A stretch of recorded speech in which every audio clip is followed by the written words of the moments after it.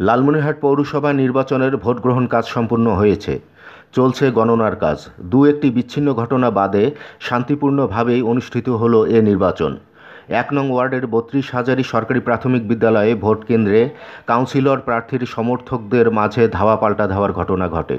অল্প সময়ের মধ্যেই আইনশৃঙ্খলা বাহিনী পরিস্থিতি নিয়ন্ত্রণে নিয়ে আসেন।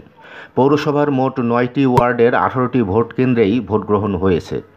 দেখুন লাল দর্পণ পর্যবেক্ষক দলের ক্যামেরায়। শান্তিপূর্ণভাবে ভোট হচ্ছে না? হচ্ছে। এমনিতেই সব সব ঠিক আছে। ভোট কি কেমন হচ্ছে? কেমন দেখতেছেন আপনারা? আমাদের এটা থানাপাড়া ওয়ার্ডের এক নম্বর ওয়ার্ডের সেন্টারটা। এখানে সুন্দরভাবে ভোট হচ্ছে।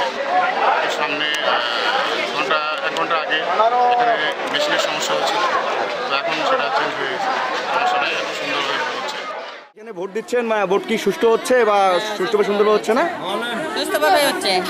যা এখানে সুষ্ঠু সুন্দর হচ্ছে না? কোনো সমস্যা হচ্ছে না তো আপনাদের না আচ্ছা ধন্যবাদ।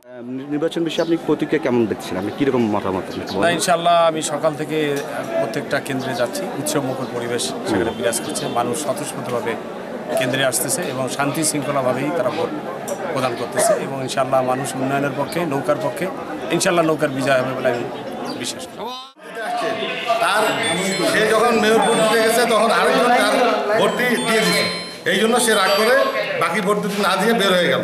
এখন তারা আমাদের প্রিজাইডিং অফিসার বা পুলিং অফিসার যারা রয়েছেন তারা তার বাকি ভোট দুটি ক্যান্সেল করে দিল না ভোট দিয়ে এটা হচ্ছে পৌরসভা নির্বাচনে আপনি আপনার প্রতিক্রিয়া বা মতামত একটু বলেন। কি কীরকম প্রতিক্রিয়া দিচ্ছেন মতামত এখানে তো বিশেষ করে বত্রিশ হাজারই সিপি স্কুল মিশন মোড় এগুলাতে দুর্নীতি মানে এরা গিয়াসুদ্দিন এরা জোর করে দখল করে আমাদের এজেন্টদের প্রায় বের করে দিচ্ছে আবার আমরা ঢুকাচ্ছি।